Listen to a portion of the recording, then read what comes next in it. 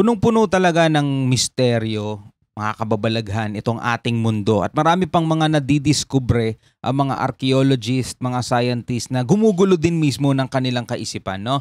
Tulad nitong panonoorin natin mga tol, mula rito syempre sa channel ni Random Pinas, meron daw natagpuan, no? na parang isang advanced technology nung unang panahon. Ito daw ba ay dala ng ancient aliens o time traveler? Kasi advanced daw talaga tong technology to na natagpuan nila million years ago, mga tol, no? Out of place, artifacts, kaalaman, mga kapatid. Yan ang ating aalamin. Pero bago yan, huwag mong kalimutan mag-subscribe kay Random Pinas. At kung bago ka pa lamang dito sa ating channel at trip mo yung mga ganitong klaseng reaction video, huwag mo rin kalimutan mga tol, subscribe, click mo na rin ang notification bell para ma-notify ka pag may mga bago tayong reaction video. Huwag na natin patagalin to, total wala na rin naman tayong hinihintay na. Panoorin na natin to mga tol.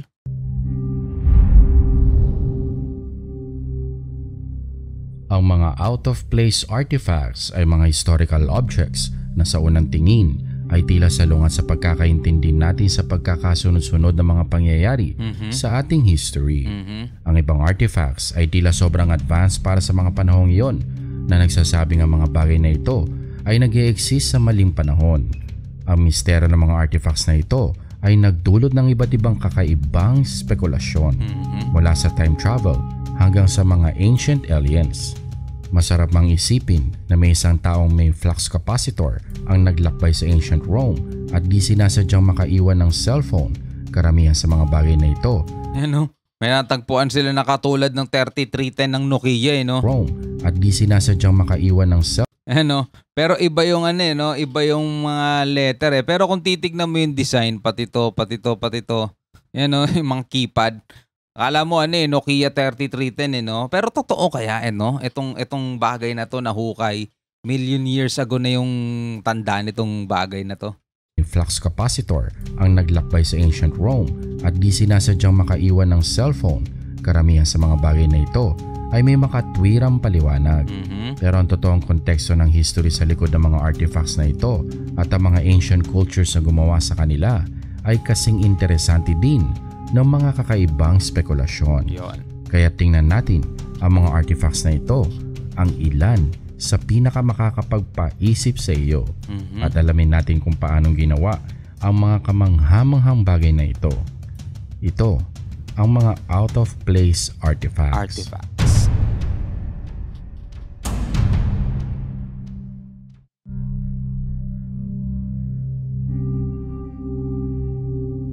Ang Antikythera mechanism ay isang ancient Greek object na nagpamangha sa mga archaeologists at historians sa loob ng ilang dekada. Isang artifact na binubuo ng ilang bronze gear fragments, tila isang primitive machine. Minsan ay inilalarawan bilang kauna-unahang analog computer. Mhm. Nadiskubre ito sa isang shipwreck sa coast ng Antikythera Island. Karamihan ng mga archaeologists ay naniniwalang ginawa ang mechanism ng mga Greek scientists noong 2nd century BC.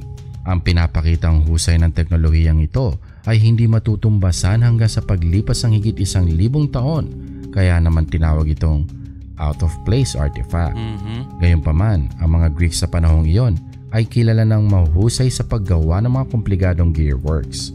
Makikita pa sa mga ancient literature ang ilang pagsasalarawan sa detalyadong pagbuo ng mga kahalintulad na bagay. Pero para saan ang machine na ito? Base sa mga recreations, sinasabi ng mga archaeologists na ang mechanism ay tila isang astronomical clock na kaya mag-predict ng posisyon ng buwan at kahit pa ng mga eclipse. Mm. Marahil para sa astrology at mga cultural festivals. Centuries later, ilang pa mga devices gaya ng astrolabes ang ginamit din sa parehas na paraan. Pero wala sa mga ito ang nasa parehas na level ng Antikythera mechanism. Kaya talaga nakakamangha ang mechanism na ito. Kahit technically, pwedeng sabihin hindi ito out of place. Maliit na hollow object ginawa noong 2nd hanggang 14th century AD. Kakaibang itsura sa unang tingin. 12 ang sides nito, gawa sa copper at nagkalat ito sa Roman Empire. Mhm. Lagpas isang daan na ang nadiskubre ng mga archaeologists mula pa noong 18th century. At sa kabila ng dami nito, walang isinulat ang mga Romans sa kung ano at para saan ang mga dodecahedron. Oo nga. At dahil sa walang paliwanag ay naging misteryoso ang mga bagay na ito. Pero sa totoo lang, maaring hindi na nila ito ni-record dahil sobrang common ito noong panahon na iyon at lahat ng Romans ay alam na ang bagay na ito.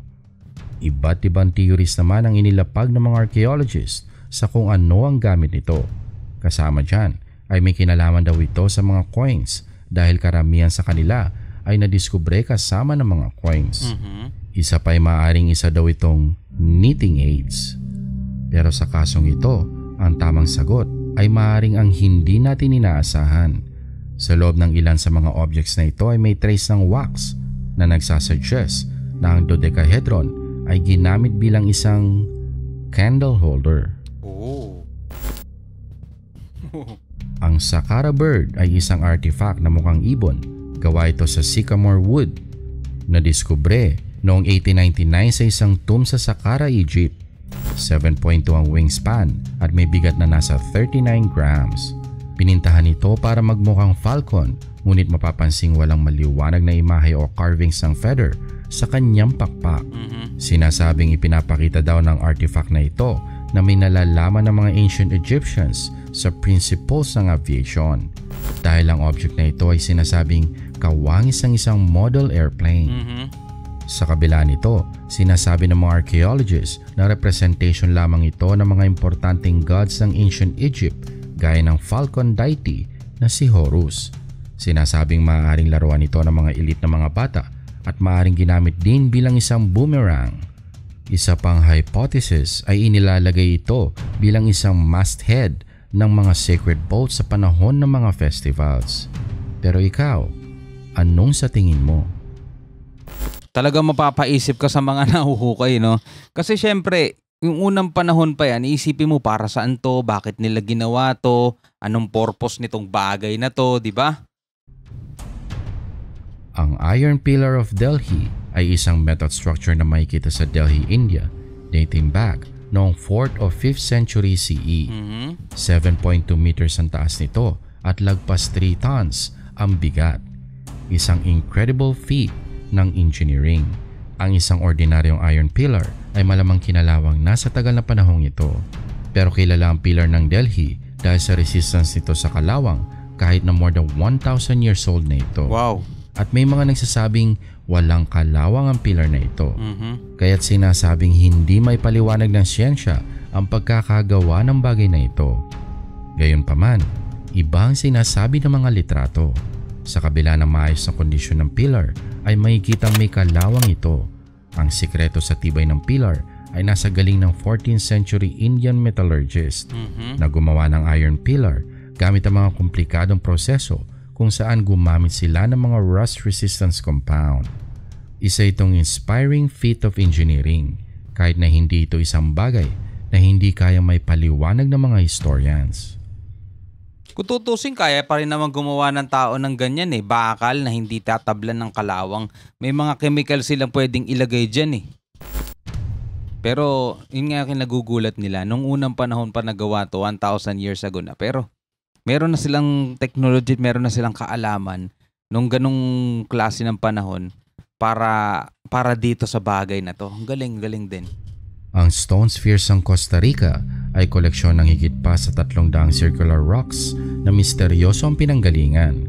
Ang mga objects na ito ay iniuugnay sa Dikis culture, isang indigenous civilization sa Costa Rica na namuhay noong 700 to 1530 CE. Ganyan ang itsura. Iba-iba ang mga sukat ng spheres at misteryoso ang mga ito at nakakadagdag pa sa misteryo na hindi sigurado kung para saan ang mga objects na ito. Mhm. Ilan sa kilalang theories ay inililinya daw ito sa mga bahay ng mga pinuno pero ang totoo ay hindi talaga natin alam.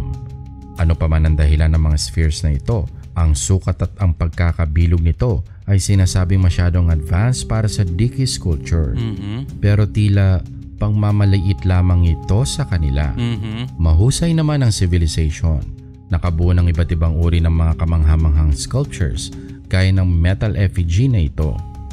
Sa ngayon kung ano man ang dahilan kung bakit ginawa ang mga spheres na ito ay walang dahilan para sabing hindi ito kayang gawin ng mga dikis. Mhm. Tama. Masyado lang talaga nagiging malikot ang isip ng tao. Eh, no? Ang dogu ay maliliit na humanoid statues mula sa Jomon period ng Japan at pamilyar ang itsura nito para sa atin ng mga modern observers. Mhm. Ang statue ay tila hawig ng isang taong nakasuot ng spacesuit. Kaya't meron kayang alien o time traveler na nakasuot ng isang klase ng suit ang bumisita noon sa Japan Mhm. na natili doon ng matagal para gawa ng statues ng mga Japanese? Maari o maari ding hindi. Mm, pwede. Ang pagkakahawig nito sa kahit anong modern clothing ay maaring coincidence lang din. Mhm. Mapapansin karamihan sa mga dogu ay malayo ang itsura sa modern day spacesuit. Ang karamihan sa mga dogo effigy sa mga panahong iyon ay mas binibigyan diin ng laki ng mga balakang. Ang sobrang laki ng mga hips at tiyan ng mga statues ang naging dahilan para magtiuray sa mga historians na may kinalaman ng mga dogu sa fertility at hindi sa spaceman. Mhm. Pero ikaw, anong sa tingin mo? Magaling naman ng Japan gumawa ng mga ganyan eh, 'di ba? Sa kanila nga nanggaling yung mga Kamen Rider, 'di ba? Ito mukhang ano eh. mukhang mga sinaunang Kamen Rider eh, 'di ba? Mask Rider Black. Isang misteryong object ang nakunan sa ilalim ng karagatan noong 1960s. Mhm. Nakunan nito sa kamera ng Antarctic Oceanographic Research Ship na USNS El Tanin. Naglalakbay ang ship sa Western Cape Horn sa South America nang makita ng mga crew members ang object sa lalim ng higit pa sa 3,900 meters. Ano kaya ang mala alien na bagay na ito? Isang alien artifact na naiwan sa ilalim ng karagatan? Mhm. O isang uri ng sea sponge? Chondrocladia concrescens, isang species ng carnivorous sponge may mga unusual appendages. Nakawangis naman ng isang antena ang maaring nalitratuhan ng mga crew. Mhm. Hindi man kasing interesante ng isang deep sea alien antena ay kakaiba at interesanting species pa din ito. Mhm. Ikaw, anong masasabi mo sa mga out of place artifacts na ito?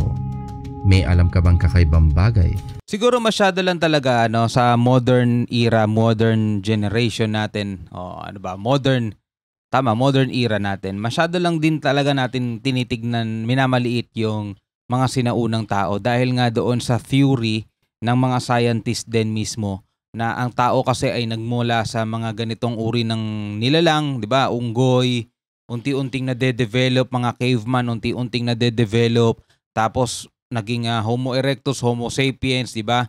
Hanggang sa nagkaroon na, na nagkaroon na nagkaroon ng ability ang tao makadiskubre at makagawa ng mga mga technology na meron tayo ngayon. Pero hindi natin alam mga tol ah.